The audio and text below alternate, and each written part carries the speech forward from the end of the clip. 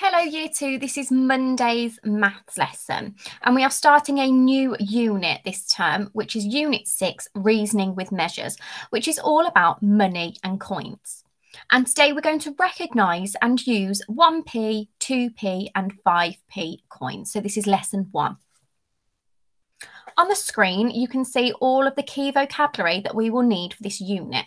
So we have money, coin, note, pound, and then we have the pound sign, pence or penny, and we have the pence or penny sign, total, amount, price, cost, altogether, pay, shop, bill, change, subtract, less, take away, and difference. And as we go through the unit, I will be going through the vocabulary. And as always, if you're not sure on any of the words, please let myself know. Okay, on the screen now, you can see a British word mat. And these are all of the coins that we will be using over this unit. I will also add the notes that we will be using as well when we look at them. Today, we are going to focus on a one pence or one penny, two pence, and a five pence. So, what I'd like you to do is I'd like you to have a look on the screen now we have a one pence that looks like this, but we also have a one pence coin that looks like this. Okay, because it's something called new money, and money will change over time, and you'll be able to see the difference in new money and old money. So you've got a one penny, which is a bronze coin, a two pence, which is a bronze coin as well. And the difference is the two pence is bigger than the one pence. Okay, both of these are round and they are both bronze. And as you can see, on the new coins, it has the name, so two pence. Whereas on the old coins, it shows you the amount using the digits. Okay, and then we have a five pence, which is the small silver coin. And like I said, old money has the number, the digit, the new money has the five pence in words. What I would like you to do is I'd just like you to pause this video and I'd like you to ask your adult or whoever is in the house with you if you wouldn't mind you looking through their purse, their wallet to see if you can identify whether they have any one penny, two pence, or five pence coins and to add them up and see how much they've got. Okay, so remember we're only looking at one pence, two pence, 5p today. So ask your adult, have they got any of those coins and can they show you, can you identify them and how many do they have? Okay, what we're going to do now is we're going to look at adding up the amounts that we have. So my ice cream here is an amount, okay?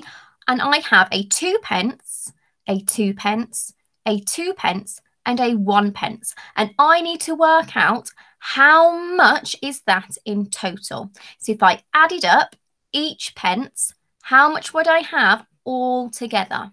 So I've got a two pence here and identified it by I could see the word two pence on there and I knew it was a bronze coin and I could see the difference between this bronze coin and this bronze coin here.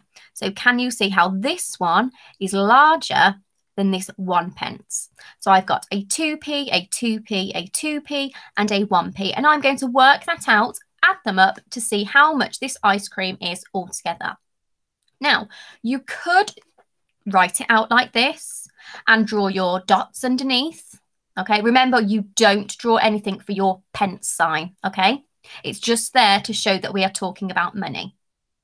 Or you could count in twos and then add one. And that's what I'm going to do. I'm going to count in twos. So remember, when counting in twos, we miss out a number.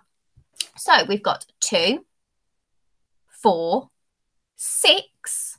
So two, four, six, because I'm counting in twos three times. And then all I need to do is just add one more on. Six add one is seven. And if I'm not sure that that's the correct answer, what I'm going to do is I'm going to draw my dots to work it out again. So I draw two dots there, two dots, two dots, one dot and I count up all my dots and I would have seven dots altogether. What we are going to do now is we need to have a go at making the amount using a 1p, 2p or 5 pence coin. So uh, my sweet is 8p, but I only have 1p's, 2p's and 5p's. How could I make 8p? Well, I could start off by just using all 1p's. So I would have one,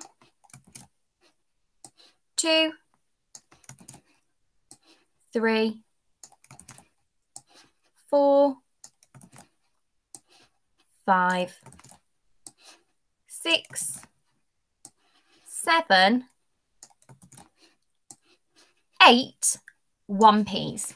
And eight 1p's makes 8p, okay? But I could also use something else. Let's see if I can use 2p's. I could do 2.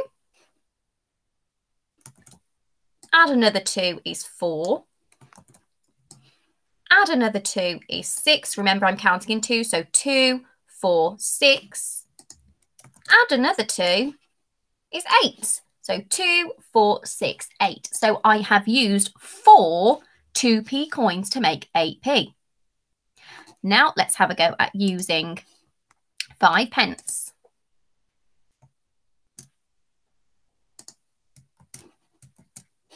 Right, I've got 5p here. If I used another 5p, I would have too many because I would have 5 add 5, which is 10. So now let's see if we could use a 1p or a 2p to help us. So I have 5 pence here. I'm going to use a 2 pence. So 5 add 2 is 7. I need to make 8p. So I'm going to do one more my 1p, and there I have 8p. The, I could use it another way. I could make 8p's out of three 2p's and two 1p's. There are lots of different ways you can make it. So what I would like you to do today are three activities. Your first activity is I want you to tell me how much is in each jar. So you will need to count how much is in each jar. And remember, we are only using 1p, 2p and 5p. So you will need to identify the coins in each one. Remember, you can go back to the start and have a look on the word mats and the coin mats and think about the sizing and the colour. Okay. And then after you've done that, I would like you to make the amount. And just like I did using 1p, 2p and 5p's, can you make each amount? And then your third activity is a probing question. Can you show me all of the different ways you can make 9p? So just like I used three different ways to make 8p, can you show me all the different ways to make 9p? And when you've done all of those activities, make sure you send them on and upload on your portfolio on Class Dojo so I can check for your understanding.